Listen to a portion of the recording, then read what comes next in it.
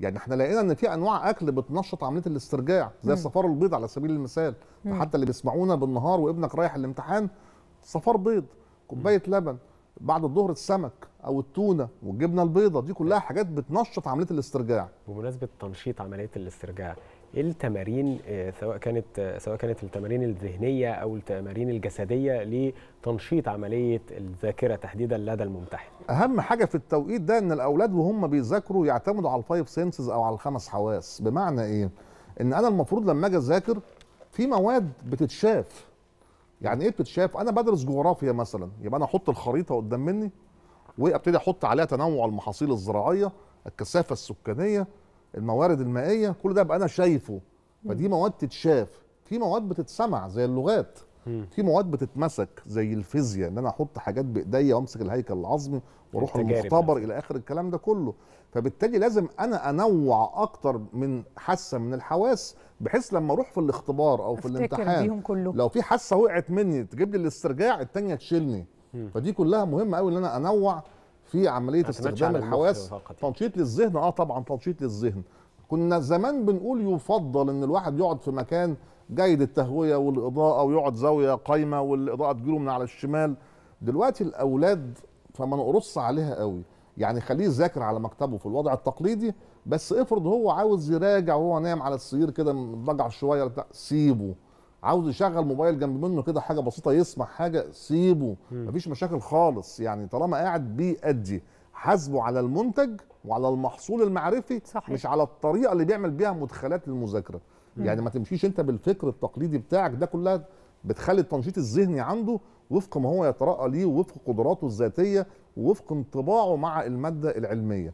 ومهم برضو جدا ابني وهو بيذاكر أحاول بقى بقدر الإمكان أخليه يذاكر في التوقيت بتاع المذاكرة. وبتاع الاختبار بمعنى إيه؟ كلنا. بنذاكر بالليل عادي بنقعد نذاكر لحد الصبح طب نيجي أثناء الاختبارات بنقعد نحل بالنهار من 9 الصبح مم. لا الساعة البيولوجية عنده هنا بتختل فبتعمل اختلال في المدركات العقلية مهم قوي ابني لما يجي يذاكر اليومين دول اخليه يذاكر من 7 الصبح. يعني في توقيت الاختبارات. عشان يبقى العقل نشيط في الفترة دي. أيوه يبقى عنده ارتباط شرطي بين التوقيت وبين درجة الإضاءة ودرجه الحرارة وبين استرجاع المعلومة. إنما أنا اخليه يذاكر لي طول الليل وينام طول النهار ويجي أثناء الاختبارات يقوم كسلان ويقوم. عنده إجهاد ويقوم مش قادر يسترجع المعلومة. طبعا عملية صعبة قوي. فالتوقيت ده بينشط الناحية الذهنية ده مهم قوي. ومهم برضو في فترة الاختبارات إن الابن ما يذاكرش وبس. يعني لو أنا ابني متعود يذاكر ساعتين أنا أخليه يذاكر ساعة إلا ربع.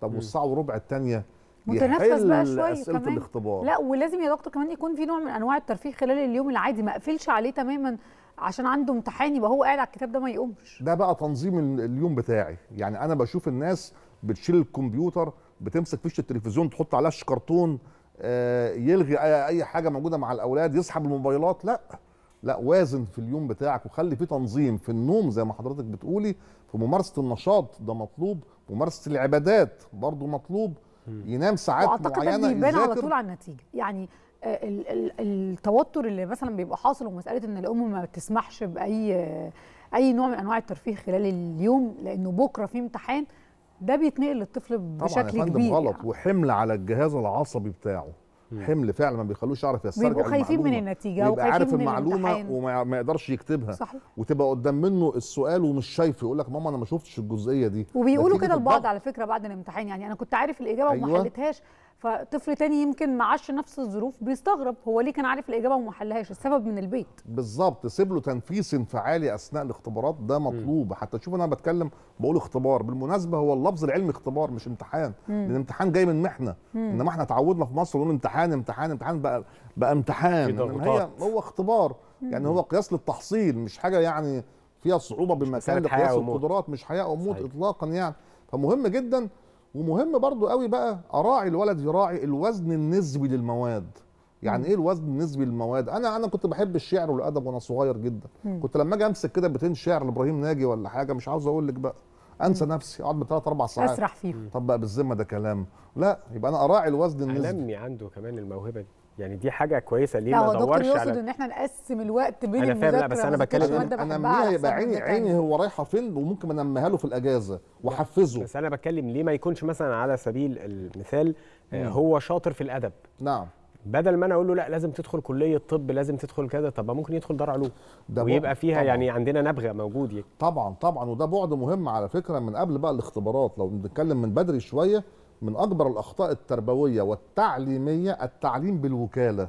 يعني إيه بالوكالة؟ أنا راجل دكتور ومشهور وعندي عيادة ومستشفى كبيرة. عاوز ابني يورث ده فمصر يخش كلية الطب صحيح. بغض النظر عن قدراته إنه ممكن يطلع نبغه في مكان تاني. أنا فاتح مكتب محاماة كبير وعاوز ابني يورث العلاقات اللي أنا عاملها والشغل والقضايا فده تعليم بالوكالة. ابني مش امتداد ليا.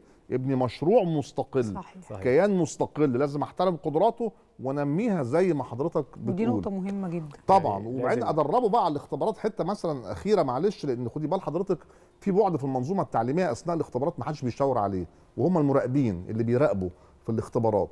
عدد كبير جدا مش كلهم تربويين. فوارد جدا عناصر فردية يقع منها بعض المواقف يزعق يلتبس عليه الأمر إن الولد بيغش مم. يتنمر على حد زي ما شفنا الطالبة اللي كانت داخلة أنا في لازم. لازم في الفترة دي اللي أنا أأهله اللي هو لو شاف حاجة زي دي ما تشتتش إنه يكبر دماغه إزاي يعمل صحيح. نفسه مش سامع إزاي يركز في. ورقته إزاي وأهم من ده أهم نقطة يمكن حضرتك قلتها آه، يعني أنا في وجهة نظري لأن أنا لازم أتعامل مع ابني إن هو شخصية آه، مستقلة مستقل. ما ينفعش إن أنا يعني آه، أجور على حقه في اختياره لما يريد في هو المستقبل الجيل ده يا جماعة مش هتتعامل؟ مع الكلام ده